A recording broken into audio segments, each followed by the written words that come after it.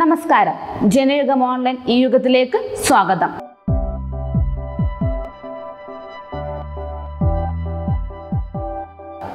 Porn video കാണുന്നതും പ്രചരിപ്പിക്കുന്നതിനും ഇതിനോടകം പല നിയന്ത്രണങ്ങളും നമ്മുടെ നാട്ടിൽ വന്നു കഴിഞ്ഞു.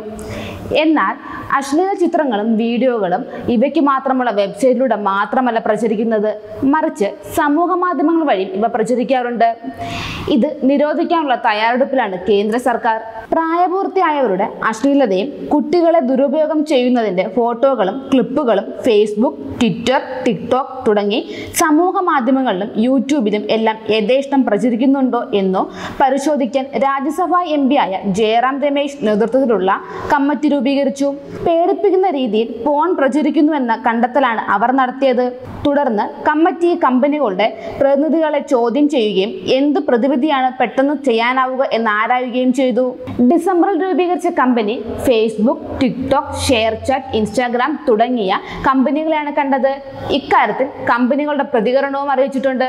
പരസ്പര സമ്മതത്തോടെ ഷൂട്ട് ചെയ്ത് അശ്ലീല കണ്ടന്റ് പോസ്റ്റ് ചെയ്യണമെന്നാണ് ട്വിറ്റർ പ്രതിനിധി വിശദീകരിച്ചത്.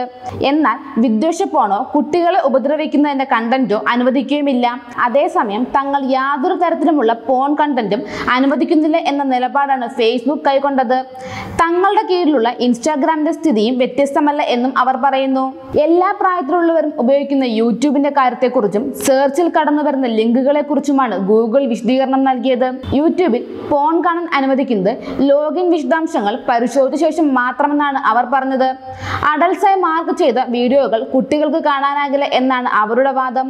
America children's online privacy protection act എന്നൊരു നിയമം കൊണ്ടുവന്നിരിക്കുകയാണ്.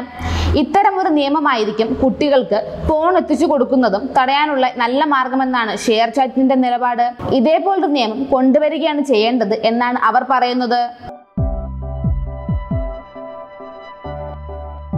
സോഷ്യൽ മീഡിയ പ്ലാറ്റ്ഫോമുകളായ ഫേസ്ബുക്ക് ട്വിറ്റർ വാട്സാപ്പ് ഇൻസ്റ്റാഗ്രാം തുടങ്ങിയവയ്ക്ക് രാജ്യത്ത് കർശന നിയന്ത്രണം കൊണ്ടുവരാൻ ഒരുങ്ങുകയാണ് കേന്ദ്ര സർക്കാർ. സമൂഹ മാധ്യമങ്ങൾക്ക് ഐഡന്റിറ്റി വെരിഫിക്കേഷൻ നടപ്പിലാക്കാനാണ് കേന്ദ്ര സർക്കാർ നീക്കം. വ്യാജ വാർത്തകൾ അപകീർത്തിപ്പെടുത്തുന്ന ഉള്ളടക്കം തെറ്റായ വിവരം എന്നിവ നിയന്ത്രിക്കാനാണ് ഇങ്ങനൊരു നടപടി.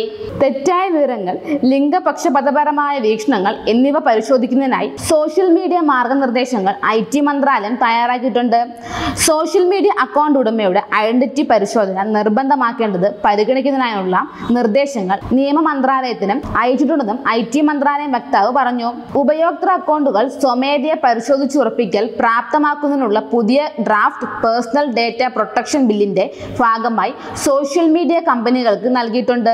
ഇതിനുള്ള മാർഗമായി ബില്ലിൽ നിർദ്ദേശിച്ചിരിക്കുന്നത് പോലെ എല്ലാ ഉപയോക്താക്കൾക്കും പൊതുവായി ദൃശ്യമാകുന്ന ബയോമെട്രിക് അല്ലെങ്കിൽ ഫിസിക്കൽ ഐഡന്റിഫിക്കേഷൻ സമാനമായ പരിശോധനയുടെ ദൃശ്യവും ദൃശ്യപരവുമായ അടയാളം നൽകണമെന്നതാണ്. ഇത് നടപ്പിലാക്കുകയാണെങ്കിൽ ഫേസ്ബുക്ക് ട്വിറ്റർ ഇൻസ്റ്റാഗ്രാം എന്നീ പ്ലാറ്റ്ഫോമുകളിൽ നിലവിൽ സ്ഥിരീകരിച്ചിട്ടുള്ള അക്കൗണ്ടുകൾ വീണ്ടും മാറ്റങ്ങൾക്ക് വിധേയമാക്കേണ്ടി വരും. ടെക്നോളജി രംഗത്തെ പുത്തൻ വാർത്തകളും വിശേഷങ്ങളുമായി ഈ യുഗത്തിന്റെ പുതിയ എപ്പിസോഡ് കാണുന്നതുവരെ നന്ദി നമസ്കാരം.